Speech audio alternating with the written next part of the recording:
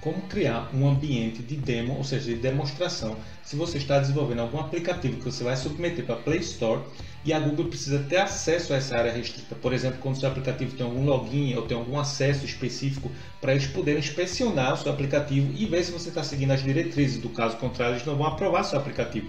Você saberia fazer? Vem comigo que eu vou te ensinar.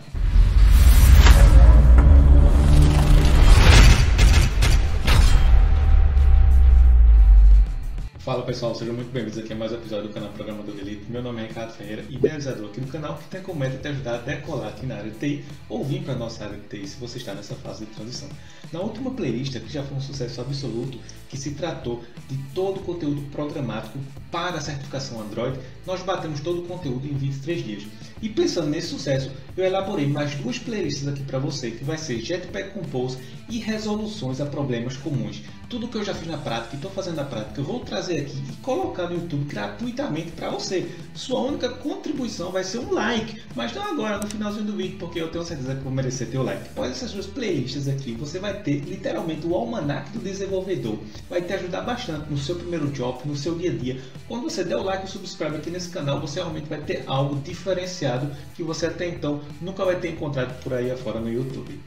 A aulinha de hoje, pessoal, é uma aula super prática, essencial para você, desenvolvedor profissional, e que está dando sequência a uma série de vídeos, quatro vídeos que eu venho fazendo aqui, que foram esses aqui, ó.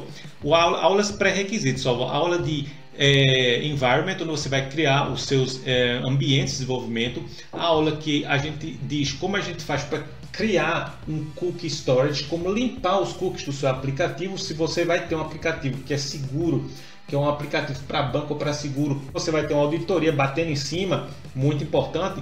E a última aula, a terceira, que foi essa aqui, onde a gente criou o nosso cliente HTTP. Nesse cliente HTTP, eu vou mostrar para vocês rapidamente aqui, ó, que foi essa aulinha aqui, ó, que foi dividida em quatro passos super simples. A gente tinha, em primeiro lugar, isso aqui, ó, que era o if, onde eu dizia se o meu environment fosse do tipo de demo, eu ia criar esse carinha aí de demonstração. Só que eu não expliquei isso nessa aula porque ia estender muito e não foi conteúdo dessa aula aqui mas eu disse que ia estar trazendo esse vídeo agora justamente explicando isso aí. Então, para isso eu estou trazendo essa aula agora para arredondar o conteúdo e você ver como é que a gente faz isso. Eu poderia fazer isso na prática, caso você tenha algum aplicativo que precise dar esse acesso restrito ou emular para que o pessoal da Google possa é, inspecionar seu código e entender que está tudo no string, tudo ok, seguindo as diretrizes, certo? Então vem comigo agora que eu vou te ensinar. Essa aula foi dividida em três passos super simples, tanto que o primeiro deles na verdade, eu deixei aqui só caso você esteja caindo de supetão aqui, queira acompanhar aqui, começar a codificar, meter a mão na massa e você vai entender que vai faltar algumas coisas, alguns imports aqui, ó, que é do Keytro, porque esse client HTTP ele foi criado com a library da Keytro, que é uma library muito popular, muito usada por aí afora, super atual e que eu estou trazendo aqui como explicação para vocês. Então, se você começar a desenvolver e ver que está dando pau, você vai aqui e olha esses vídeos aqui, que eu acho que nesse vídeo aqui, ó, de como limpar o cookie, ele vai explicar, eu vou explicar para você como é que a gente faz isso aí, tá? Mas de antemão, se você quiser baixar o código também, tem um link aqui, ó, tem o nosso GitHub aqui bonitão, que é um GitHub lindo, resoluções a problemas comuns, o almanac do desenvolvedor, onde você tem um único aplicativo, onde você tem resoluções pontuais aos problemas que você vai enfrentar no seu dia a dia como desenvolvedor profissional para a plataforma Android. Tenho certeza absoluta vai me agradecer muito. Bicho, like, subscribe, tenho certeza que vai me agradecer depois. E você não vai baixar milhões de códigos por aí afora. Não, meu cara. Você baixa um único código fonte, um projeto só, que tem ó, as coisas divididas em blocos. Você clica ali e vai ter só aquilo autocontido que resolve aquele problema. Você não vai ter que ir Activity A, fragmento B, não sei o que, pegar aquilo e pegar e juntar para entender que aquilo funciona assim. Não, tá tudo ali. Pegou, colocou, colou, botou no seu código, funcionou. Filé, só a nata. E aí, ó, tem vários vídeos agendados aqui, ó vai até janeiro, eu acho que já tem vídeo agendado. Os que estão com as bandeirinhas são os vídeos que ainda vão estão para sair, mas que já estão agendados para você já ficar atento, poder dar like, subscribe, me seguir aqui no canal para ir acompanhando aqui e aprendendo comigo também. E os que não têm bandeirinha já saíram e estão disponíveis. Tanto o conteúdo aqui ó, com título, com thumbnail e os vídeos também têm índices, meu velho. Então você não perde tempo não. Você bate lá, sai pulando de, de de capítulo em capítulo e aí você pega só aquilo que você quer. E se você gosta dessa maneira de como trago conteúdo, enquanto eu estou falando aqui, ó, tá com estrelinha aí para entender que está agregando valor, o feedback que tu me dá não te custa nada. Mas para mim é um feedback importante porque eu entendo, ah, beleza, o pessoal está curtindo isso aí, deve continuar trazendo coisa assim. Do contrário, eu paro, né? Vocês não querem que eu pare, eu tenho certeza. Então deixa a estrelinha aí, viu? Mas bem, dado que você sabe agora como é que você faz para pegar o código, código 0800 filé, todo em português comentadinho, bonitinho para você, a gente vai continuar aqui agora com o passo número 2, que seria as entradas no ProGuard, que também faz parte disso daqui, ó, que foi definido nesse vídeo aqui, tá? Os cards vão ficar por aqui para você olhar na sequência, relaxa aí no teu sofá, dá para acompanhar de boa. Mas agora a gente vai meter a mão na massa. Vamos dar uma olhadinha agora no nosso cliente mocado, que seria o cliente realmente para um ambiente de demonstração. E aí eu estou passando aqui também, ó, nesse método aqui, nesse objeto que eu criei aqui, ó, eu estou passando o meu client config, porque ele contém as mesmas variáveis de ambiente, tá?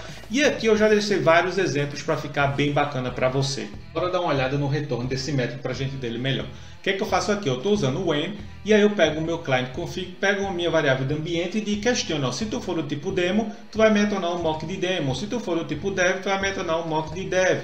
E se tu for qualquer outro tipo, tu vai me retornar, sei lá, um mock local client, certo? E aí eu percebo o seguinte, aqui embaixo eu só criei um único é, ambiente de demo, que é esse cara aqui, e essas outras duas variáveis aqui, ó, que elas estão aqui, ó, eu defini elas aqui embaixo com o mesmo valor dessa daqui, tá? Por que isso? Porque eu não ia me dar o trabalho de criar três coisas diferentes só para exemplificar aqui para você, mas para você pegar a ideia de como você faria. Se você tivesse um outro ambiente, você ia criar isso daqui, ó, um carinha assim, aqui embaixo, e para esse outro um carinha assim aqui embaixo, com as especificações, né, com as configurações necessárias para aquele ambiente. Mas só para você ter um exemplo de como isso aconteceria na prática, já deixei aqui três opções para você entender como é que você faria. E o que é interessante para a gente, na verdade, é esse mock demo client, tá? que é o mock que você iria criar para dar acesso ao pessoal da Google, que poderia ser acessado de qualquer maneira. Você poderia especificar na hora que você submete sua aplicação lá para o Play Store, você colocaria nos comentários, ó oh, bicho, para tu acessar tal trecho da aplicação, digita 1, 2, 3, 4, 5, 6, um exemplo, não ia ser assim, tá? Mas só para você entender. E aí você vai ter acesso a essa área restrita, que seria mocada, então tem esse código QR aqui, ó, que eu estou passando aqui para vocês, vocês escaneam ele, aí vocês vão ter acesso a essa área restrita também. Enfim, você pensa em um meio, um mecanismo para ele poder acessar, que não fique fácil para que qualquer um possa fazer isso também, certo? Bem, dito isso, vamos, vamos agora para o que interessa. Você vai criar o seu cliente de demo, de demonstração, usando a, a library da Kato também, que a gente usou também no vídeo que a gente criou esse carinha aqui, ó, o, client, o client HTTP, que foi explicado nesse vídeo aqui, ó, em quatro passozinhos. Vou deixar o card por aqui para você olhar na sequência também. E aí, o que é que a gente vai fazer agora? A gente vai começar a meter a mão na massa agora. Vamos instalar o nosso JSON Serializer. E aqui eu estou usando um JSON Serializer bem simples. Estou apenas pegando ele, deserializando ele aqui. Pronto. Não tem bicho de cabeça aqui não. É uma coisa super simples. Você pode parar, pausar o vídeo e dar uma olhadinha. Mas eu deixando tudo em português aqui, ó, tudo explicadinho, moidinho, para ficar facinho, facinho para você, bicho. Like, subscribe, não esquece não, me agradece depois. E aí, ó, instala o tipo de serializer que você pretende usar, certo? No vídeo anterior a esse aqui, eu ensinei como você criar esse serializer, mas usando o 3D Print, onde ele vai pegar e vai é, formatar o teu JSON para ele vir bonitinho, tá? Já no formatozinho todo bonitinho para ficar bom de você ler no log, onde for que você estiver printando ele. Fica a dica aí para você olhar na sequência. Aí no terceiro, no segundo passo, a gente vai ver a instalação do log que a gente vai usar aqui é o Timbre. Se você também não sabe como criar o Timbre, o que é o Timbre, para que, que serve, como instalar um Timbre para distribuição de aplicativo ou instalar um Timbre produção, se esse for o caso, tem um vídeo também que explica só isso. Vou deixar os cards por aqui também. Olha na sequência esse vídeo, tá topzera, é muito bom, e vai me agradecer bastante. E agora a gente vem para o terceiro passo, que é o seguinte, onde a gente vai criar o cliente em si. E agora é que fica bacana, vê só. A gente vai pegar e vai dizer o seguinte, ó, diferentemente da criação do anterior, que a gente viu no, no vídeo anterior, que é um pouquinho diferente, que vale a pena você olhar na sequência, que a gente vai dizer o seguinte, ó, engine, ou seja, engine, não sei como pronunciar isso direito, e a gente vai criar aqui, ó, o nosso client mocado, onde a gente vai agora ó, retornar o response para ele para cada URL que a gente definir, que a gente especificar. Certo? Vamos supor que ele faça requisição a algum lugar. E essas requisições têm que ser mocadas também, tá? Para isso eu vou criar aqui uns arquivos, ó. Vou mostrar para vocês já já uns arquivos de demo, onde eu tenho uns responses aqui, ó, que são fakes, tá? A gente vai olhar isso já em detalhes. Segura aí a impaciência, a gente já, já chega lá.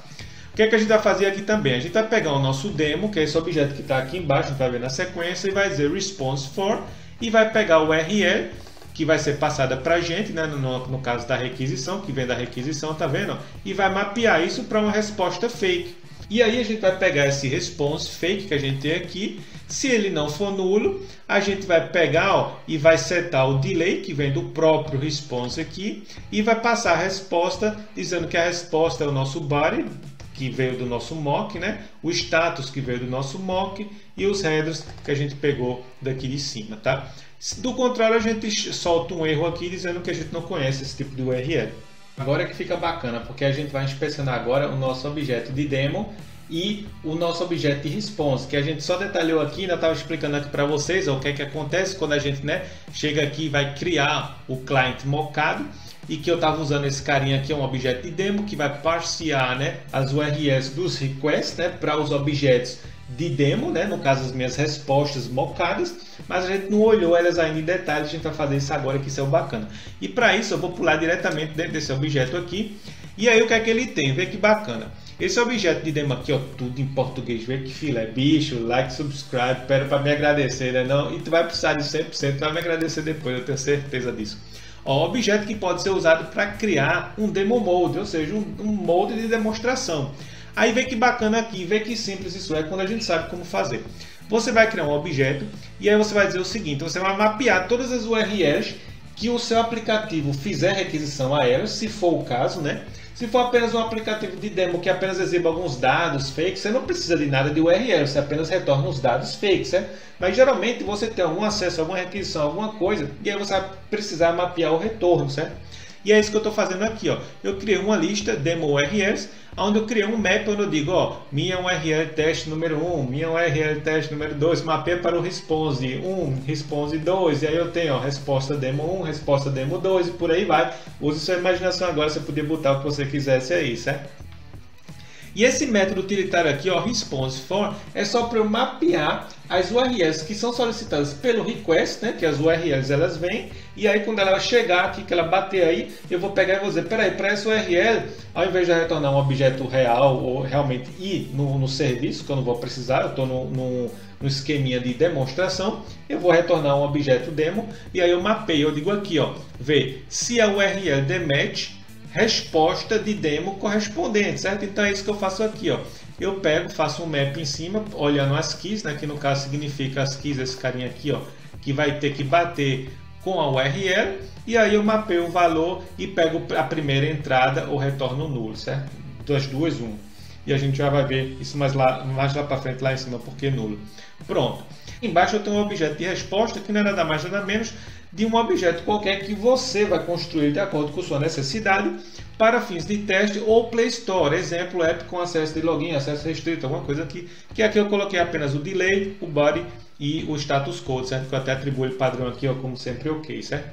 E aí eu falei disso aqui, ó, porque nulo, por causa disso daqui. Ó. Se a gente olhar aqui em cima, eu pego as minhas respostas e aí se eu retornar nulo, eu estouro um erro. Por quê? Porque eu quero simular o erro também, o caso de erro, por exemplo. Aí eu poderia fazer isso assim também.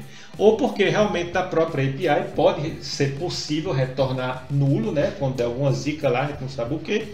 E aí, para a gente não deixar o nosso app crashar, a gente ter isso mapeado também, a gente tem isso aqui como opção também passar isso aqui, certo? Agora, bicho, se tu chegasse até aqui, com certeza conseguisse sair algum valor desse vídeo. Essa é a hora que tu deixa teu like subscribe para me dar aquela gratificação e entendimento que está te agregando valor, que eu devo continuar com isso. Agora, se tu não faz network na nossa área, está dormindo muito no ponto. Você tem um grupo do Telegram pinado aqui no canal, toca nele que já é adicionado. Qual é a ideia do grupo? A gente se conhecer, trocar experiência, você fazer network. Nossas vagas saem muito assim de mãos em mãos. Fulano conhece Ciclano, está precisando de alguém. E você pula muitas etapas quando você é indicado. Além de ter um benefício de às vezes quem indica também ganhar alguma coisa, sei lá, uma bonificação, alguma coisa, tem uma série de benefícios. E os vídeos saem aqui em primeira mão, você não fica nem dependente de cinema, embora você deva tocar no cinema também, tá? Então te espero lá.